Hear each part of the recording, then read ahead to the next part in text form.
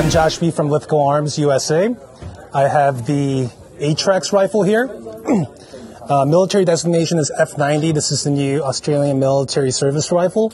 The Australian military wanted a lighter and more modular rifle than the Steyr AUG. Uh, this is actually the lightest military bullpup in the world at 7.16 pounds on the 16 inch version here. And then 7.47 pounds on the 20 inch version here. Gun's phenomenally balanced, even with all these accessories, it just balances right there.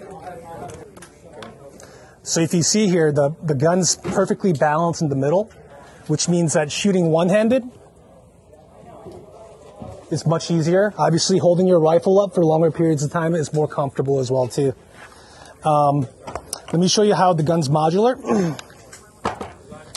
By racking the charging handle and pushing this one button out here, removes your entire barrel housing group. What that does is that it allows you to change not only your barrel length, but also your caliber as well too.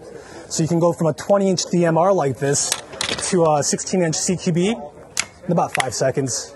You never lose zero either because your optics are zero to your rails, and your rails are, you know, permanently fixed to your barrel, so you never lose your zero.